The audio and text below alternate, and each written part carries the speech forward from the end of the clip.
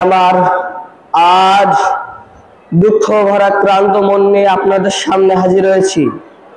আপনারা সবই জানেন এবং বোঝেন, আমরা আমাদের জীবন দিয়ে চেষ্টা করেছি, কিন্তু দুঃখের বিষয় আজ ঢাকা, চট্টগ্রাম, খুলনা, রাজশাহী, রংপুরে আমার ভাইয়ের রক্তে রাজপথ রঞ্জিত হয়েছে।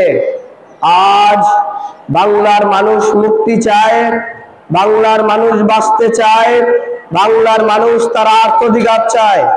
কি অন্যায় করেছিলাম? নির্বাচনের পরে বাংলাদেশের মানুষ সম্পূর্ণভাবে আমাকে আওয়ামী লীগকে ভোট দেন।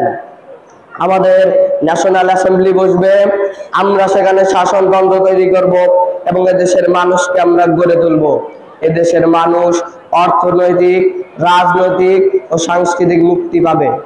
কিন্তু দুঃখের বিষয় আজ দুঃখের সঙ্গে বলতে হয়, তেইশ বছরের করুণ ইতিহাস, বাংলার অত্যাচারের, বাংলার রক্তের ইতিহাস, তেইশ বছরের ইতিহাস, মুমূর্ষ নরনারীর আত্মনাথের ইতিহাস, বাংলার ইতিহাস, এদেশের মানুষের রক্ত দিয়ে রাজপথ রঞ্জিত করার ইতিহাস।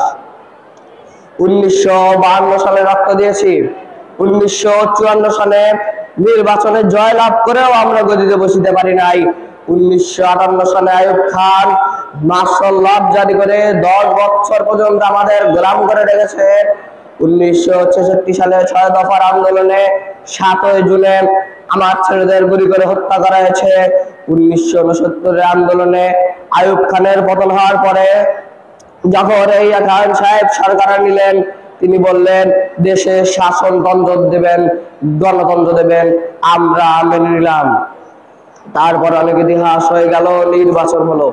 আপনারা জানেন, দোষ কি আমাদের?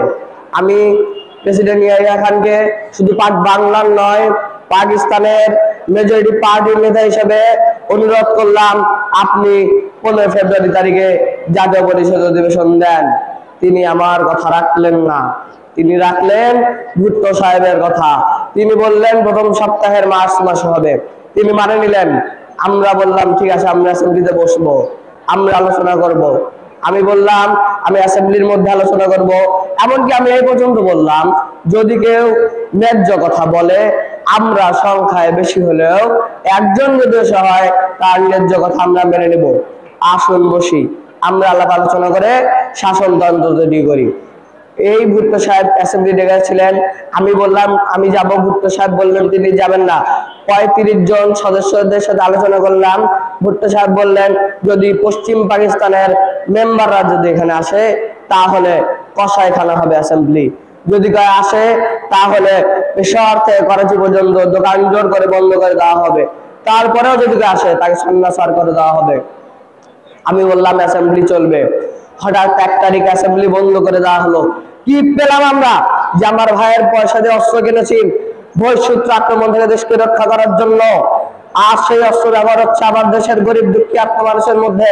তাদের ভিতরে বড় হচ্ছে গুলি আমরা পাকিস্তানের সংখ্যাগুরু, আমরা পাকিস্তানের সংখ্যাগরিষ্ঠ, আমরা বাঙালিরা যখন আমাদের ক্ষমতায় যাওয়ার চেষ্টা করেছি যখন দেশের মালিক হওয়ার চেষ্টা করেছি, তখনই তারা আমাদের উপর ঝাঁপিয়ে পড়েছে। তারা আমাদের ভাই। আমি বলেছি তাদের কাছে কথা যে, আপনারা কেন আপনার ভাইয়ের উপর গুলি মারবেন? আপনাদের রাখা হয়েছে যদি বহিঃসূত্র আক্রমণ করে, তার থেকে দেশটাকে রক্ষা করার জন্য। তিনি বললেন যে, আমি নাকি বলে স্বীকার করেছি যে, দশই তারিখে রাউন্ড কনফারেন্স হবে। আমি তাকে এ কথা বলে দিবার চাই আমি তাকে তা বলি নাই। টেলিফোনে আমার সঙ্গে তার কথা হয়। ভাইয়ের আমার পঁচিশ তারিখে অ্যাসেম্বলি কল করেছে, রক্তের দাগ শুকায় নাই। আমি দশ তারিখ সে অ্যাসেম্বলিতে বলে দিয়েছি, ওই শহীদের রক্তের মধ্যে পাড়া দিয়ে আটত্রিশিতে মুজিবুর রহমান যোগদান করতে পারে না। অ্যাসেম্বলি কল করে সবার দাবি মানতে হবে প্রথম। সামরিক আইন মাসল্লা উগ্র করতে হবে। সমস্ত সামরিক বাহিনীর লোকদের বেড়াকে ফেরত নিতে হবে। যেভাবে হত্যা করা হয়েছে, তার তদন্ত করতে হবে। আর সমস্ত সামরিক বাহিনীর লোকদের বেড়া ফেরত নিতে হবে তারপর বিবেচনা করে দেখব আমরা অ্যাসেম্বলিতে বসতে পারব কি পারব না। এর পূর্বে এর পূর্বে অ্যাসেম্বলিতে বসা, আমরা অ্যাসেম্বলিতে বসতে আমরা পারি না। জনগণ সে অধিকার আমাকে দেয় নাই। ভাইয়ের আমার তোমরা আমার উপর বিশ্বাস আছে? আমি প্রধানমন্ত্রিত্ব চাই না। আমরা দেশের মানুষের অধিকার চাই। আমি পরিষ্কার অক্ষরে বলে দিবার চাই, আজ থেকে কোর্ট কাচারি সুপ্রিম কোর্ট হাই কোর্ট জজ কোর্ট সেমি গভর্নমেন্ট অবদা কিচ্ছু চলবে না। শুধু রেল চলবে লঞ্চ চলবে রিক্সা গাড়ি ট্যাক্স চলবে। আর যদি একটা গুলি চলে, আর যদি আমার লোকের উপর হত্যা করা হয়, তাহলে তোমাদের উপর কাছে আমার অনুরোধ রইল। প্রত্যেক ঘরে ঘরে দুর্গ করে তোলো।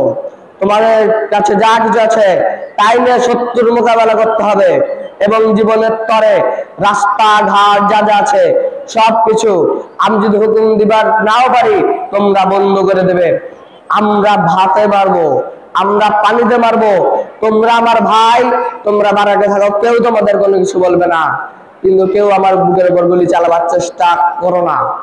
ভালো হবে না। সাত কোটি মানুষকে দাওয়ায় রাখতে পারো না। আমরা যখন মরতে শিখেছি, তখন কেউ আমাদের ডোবাতে পারবে না। এবং যে পর্যন্ত আমার এই দেশের মুক্তি না হলে রাস্তা ট্যাক্স বন্ধ করে দেওয়া হলো, কেউ দেবেন না।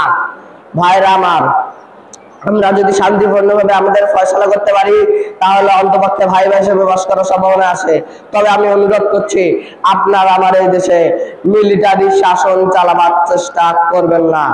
দ্বিতীয় কথা, প্রত্যেক গ্রামে, প্রত্যেক মহল্লায় প্রত্যেক ইউনিয়নে প্রত্যেক সাবডিভিশনে আওয়ামী লীগের নেতৃত্বে সংগ্রাম পরিষদ গড়ে তোলো এবং তোমাদের কাছে যা কিছু আছে তাই নিয়ে প্রস্তুত থাকো। মনে রাখবা, রক্ত যখন দিয়েছি, রক্ত আরও দেব, এদেশের মানুষকে মুক্ত করে ছাড়বে ইনশাল্লাহ এবারের সংগ্রাম আমাদের মুক্তির সংগ্রাম। এবারের সংগ্রাম স্বাধীনতার সংগ্রাম। জয় বাংলা।